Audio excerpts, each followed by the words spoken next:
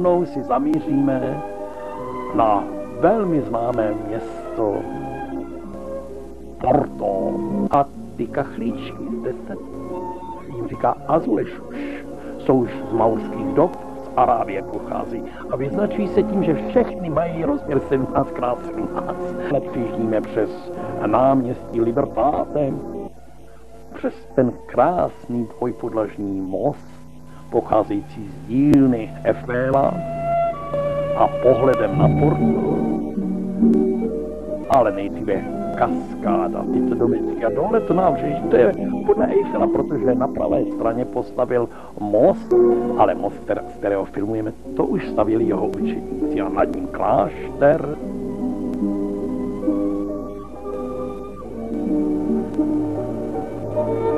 Nábřeží Ponte Maria a v této katedrále je relikvie srdce Petrovo.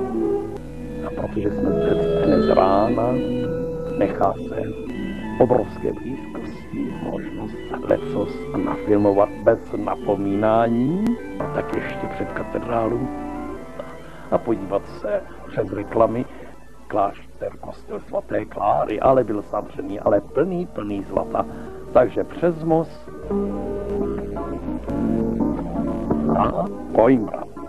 To je univerzitní portugalské město, e, jako univerzitní založené Janem III. ze 16. století. A na takovém univerzitním náměstí je věž Kobra Koza. Proč? Protože ten e, zvon prý mečí, mečící zvon. Ta stará univerzita, kde je i aula když je zde aula a učebny, tak je také zde barokní kaple. Jan III. má tu sochu a protože jsme na vyvýšení, dole tyto uh, uličky, ty jsou dobrý ke zlomení žeber. Kuesa Kostra, tak jsou nazvány. Na biskupský palác, na kostel si jít podívat v Kojimbře, na starou katedrálu. A pak svatá Klára, ale to už jsme v Tomaru. Tento hrad byl starý, ale pak bylo to stíno Kristových rytířů, ale pak Jindřich Mořeplavec jej přebudoval a bylo předáno k užívání templářů. Král Denis právě nechal vybudovat tento monument a po něm Jindřich Mořeplavec Porta. Takovéto atria, pátia a okno, s kterým je možno schlížet na nádvoří. A to je ono, okno Chanela. Všimněte se, lana, lastury, provazy, řetězy. To jsou ty napodobeniny právě z kamenů, vidíte ty lana, a připomínající mořeplavectví. Tak je to nejrozsáhlejší a největší renesanční komplet v Portugalsku.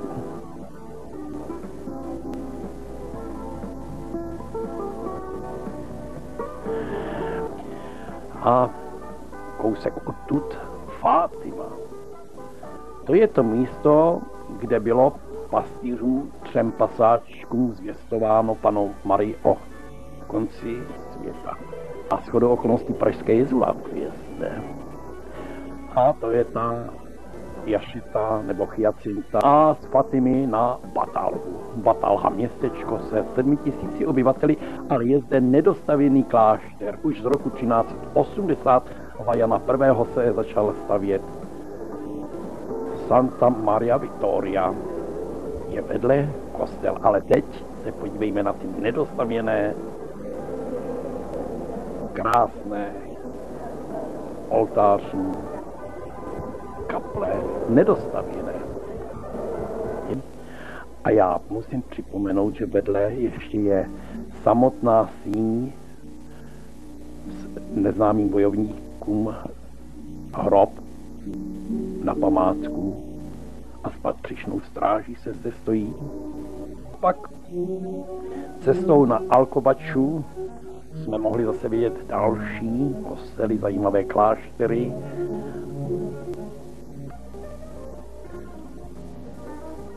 A Alkobača, to je zase klášter mužský. Eh, se svaté Marie z 1178 už započatá stavba králem Alfonzem, ale čím se hlavně vyznačuje, že za krále Dinise bylo zde možnost, aby zde pobývalo až 999 mnichů. A byl to takzvaný královský kostel, proto zde jsou sochy králů. Jsou zde sarkofágy králů, jsou zde pohřbení pochopitelně. A všimněte si toho klenutí, mohutnost těch sloupů, opravdu královská moc je zde spatřována a síla. A ten den jsme mohli přijet do, do Obidos. Obidos je pro vinaře ještě znám tím, že je to obrovská, známá po celém světě vinařská oblast. A uličky přímo suvenýry nabízejí, abyste do nich vešli a jsou zde pochopitelně také kostely svaté Marie. Takže hrad zde je také burgé svým opevněním je zde.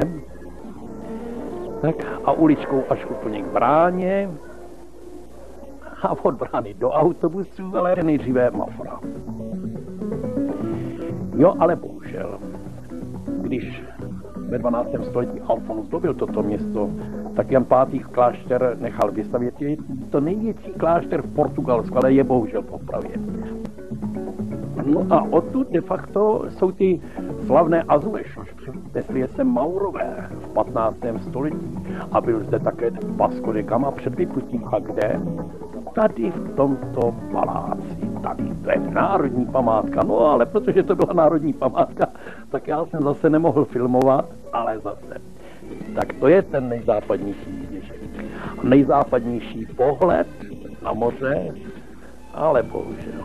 Bohužel tedy pro mě, pro kameru, hodinu před západem slunce jsme odtud odjeli a představte si, já už jsem to říkal několikrát, ale je škoda, že to je západ slunce nemám zachycen, ale nikdo na, fot- na fotografii je pak o hodinu přesně odjížděli. Bohužel, bohužel, ale neměli jsme proč, když jsme si tu dávali vínko, tak jsme si připili v autobusu popovídali, ale tu hodinu jsme zde mohli s klidem počkat. A sluníčko bude zapadat a my odjíždíme pryč. Takže ještě jednou lázně Cascais, známé, krásné, s barvou slunce v zádech, s jízdou na východ, den vydat na Lisbou, Lisabon, hlavní město Portugalska. 1147 bylo dobyto a přijeli jsme až na náměstí Práča de Comercio, a za ním se zastavili a šli jsme k domu špiček. 1983 bylo, byly tyto špičky opraveny a pak už jsme šli do kostela Igrecio Conchicho, ale přes bránu 1846 na hrad svatého Jiřího. A z této vyhlídky můžeme kouknout na most 25.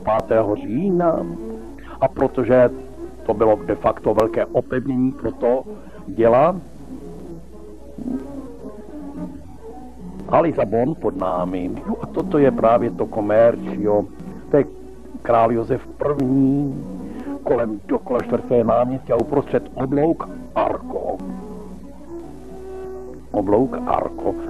A už cestou na Belém, kolem rezidence samotného portugalského prezidenta, ale výměna strážích nebyla možnost patřit, až jsem přijel pod mostem 25.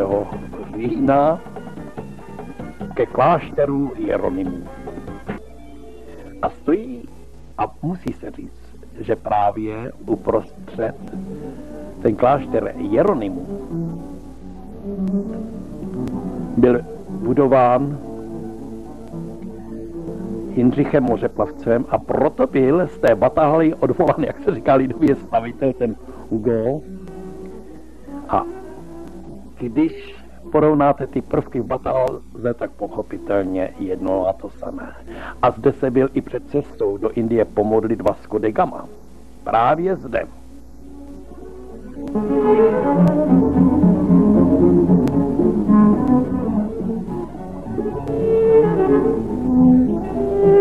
Ale skočme ještě na starou věž se podívat. Pevnost to byla za Jama II. Tore Velha ale také tato pevnost byla vězením a strážila věst do Lisabonu. A můžeme se konečně podívat ještě jednou na sochu Krista, jenom 28 metrů socha, 64 podstavec z prvého století našeho letopočtu, pozůstatky právě po římské nadvládě.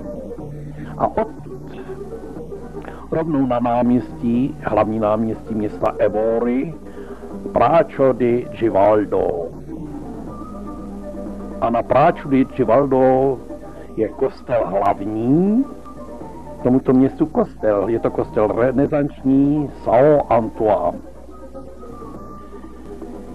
Zajímavé sloupy. Zde je možnost patřit v tomto kostele prosím. A já připomenu shodou okolností, že vévoda Černel nechal na náměstí před kostelem popravit, e, hlavu svým odpůrci, který proti němu vedl povstání od kostela od náměstí uličkami před kostel San Francisco. Tady přesně, teď ho vidíme, San Francisco, od San Francisco kolem Karmy, to je další kostel, do autobusu, Karma, do autobusu a pak už jízdou s rozloučením se na Estremos. Ale nejdříve musíme projít ano, tak městečkem a teď tou bránou, která opevňovala už vlastní hrad, ale hrad je dneska hotelem, takže pojďme do kostela. V kosteli je mše, ale byla zpívaná známá píseň. A od kostelíku a od hradu já jsem se vydal dolů, když jsem viděl ty zajímavé stavby a zjistil jsem, že ta enkláva jsou něco, co by jako cikáni. Tak jsem narazil na takového klempíře a ten začal dělat to, obzvláště když viděl, že ho filmují. Hmm. Je to, jak kdyby to bylo z Arábie, což podívejte se, to je jsou stavby různé. Chtěl jsem jít ještě dál, ale já se přiznám, já měl trošku strachu být tady sám v těch končinách. No, nevíte, že jo? a uličkou dopředu, která mě čeká. A tady je nějaký policajt cikánský. Pojďte si, jak řídí dopravu. Hm, a je důležitý. Od Estremozu na Elvas. A jako toto město, tak i Elvas, město je opevněno hradbou a je to asi 15 km od hranice, takže na náměstí republiky Mohli jsme vidět kostel dos Santos, to je to náměstí republiky s radnicí věží kostel Dos Santos. A od něj jsme mohli jít až nahoru na náměstí před arabskou bránu. A pranýř, sloup a naproti Santa Clara, osmi boká kaple.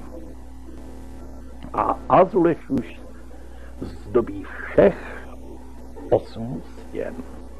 A od arabské brány na náměstí svíčko dalšímu kostelu. A Denis první, zde v 16. století Denis první, nechal postavit pevnost a naproti také byla pevnost.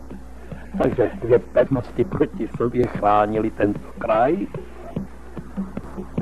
No a pak jsme se mohli podívat do dalších uliček kolem další římské brány, kolem kostela Eusebia, opět na republikové náměstí a z republikového náměstí od radniční věže se jít podívat dolů na ty hradby před těmi valy a pak už bránou projít na autobuse. Ta známá cesta autobusem.